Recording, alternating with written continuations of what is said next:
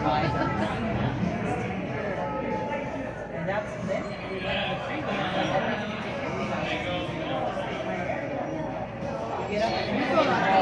Uh, to be honest with you, I didn't feel comfortable driving but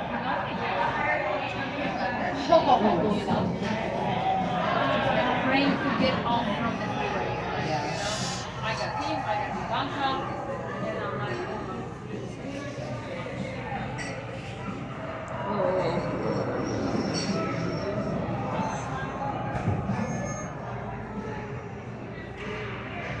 すごい。